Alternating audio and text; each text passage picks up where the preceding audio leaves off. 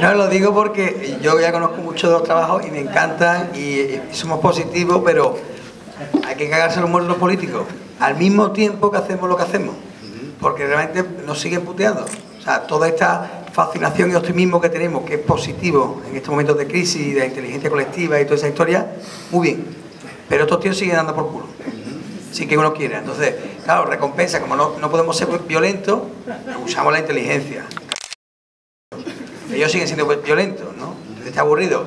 Claro, yo puedo decir, voy a contar un proyecto muy bonito en Sevilla, que ayer estuve hasta las 4 tomando sardinas, en mitad de un solar, con algunos vecinos, que puedo decir que para ellos ha sido positiva.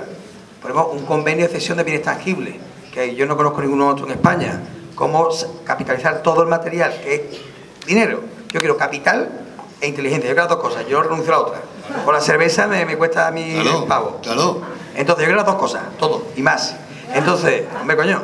Entonces, eh, el, miedo que me da es cómo, inevitablemente, si no cambiamos el sistema de gobierno, vamos a tener que colaborar eternamente con ellos.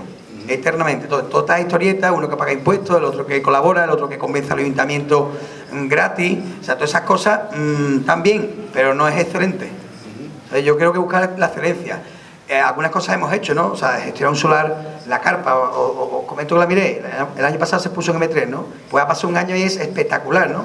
De empezar tres colectivos, hay 14 colectivos, hemos expropiado en uso material del Matadero Madrid, del Ayuntamiento, eh, se ha traído una carpa caducada como, como técnico, dice, no, es que las, empresas, las carpas caducan. Yo soy arquitecto, digo, la cogí, tiré, digo, esto está buena, ¿no? Y yo, yo firmo, ¿no? Estoy dando, estoy convirtiéndose, multiplicando los peces. O sea, esa manera, pero eso tiene que, Yo soy muy maniático de eso. Aparte de. El otro día fue una pena que después de un año y medio de una pelea por quitar una puñetera farola, fuimos de buen rollo a pagar dos mil pavos a quitar una farola vestido con trompeta y con acordeones. Yo no soy nada hippie, pero era para celebrar el pago de una comunidad que le cuesta pagar una licencia y, y oye, si venís así no la pagáis. Yo soy un hijo de puta. O sea, yo no me quiero vestir de payaso para, no pagar unas tasas, ¿no? Entonces lo que quiero decir es que la comunicación con ellos sigue. Estamos revisando convenios que se han firmado hace tres años, de solares que solo se podía entrar un día, de edificios que tenían que hacer 15 cosas a cambio de una. O sea, ya que tenemos esta experiencia, hay que ir más a suplantarlo, a exigirle y a, recordar que son unos cabrones.